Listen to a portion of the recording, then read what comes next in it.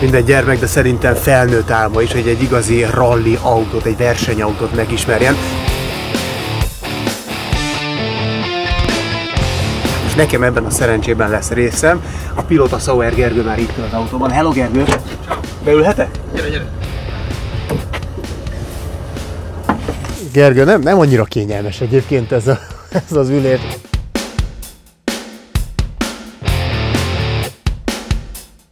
Jól érzékelem, de... De van mi kárpótoljon, megudj. Na mi?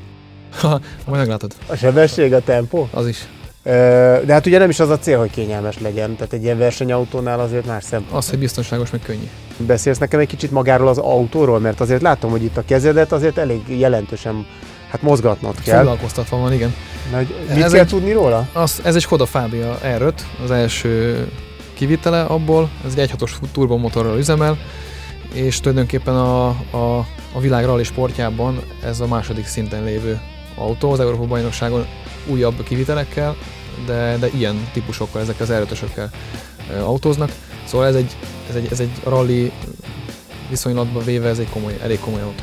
És mekkora a pilótának a szerepe? Hát ugye most kérdezem ezt egy pilótától, tehát Hát most ez jó kérdés egyébként, de én azt mondom mindig, hogy a legtöbb rajta múlik, nagy- nagyon sok emberen múlik ez az egész. A pilóta használja a terméket, és esetleg ő él a lehetőséggel, amit a kezébe adtak utána.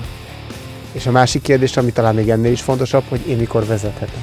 Amikor szeretnéd. Tényleg? Miatta most nincs itt a gazdája. Hát akkor megy. Előtte viszel egy kört? Persze.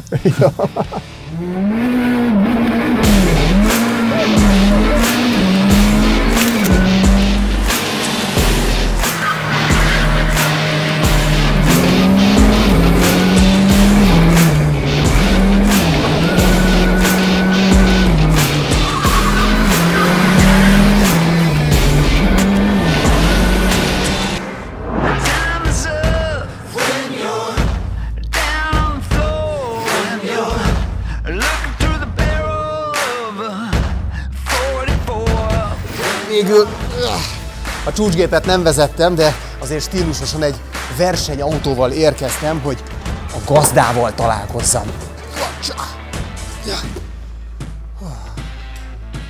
Nos, hát kedves Zoltán, hogyan kezdődött az egész ralli sport iránti szeretet vagy szerelem? A szerelem úgy kezdődött, hogy az érettségi után ugye autószakma iránt érdeklődtem, azt választottam, és oda kerültem a Pécsi Volánhoz, a taxijavítóba, ahol annak idején már ott építették a ladákat, és ott nagyon beleszerettem ebben részbe. Tehát ott ralli sportra építették. Rally, rally és hegyi pálya versenyzésre építettek ott a, a szerelők, és velem egykorú srác ismerkedtem meg, hát ő volt a Ranga László, és ő ma akár döntötte, hogy ő meg autóversenyző szeretne lenni.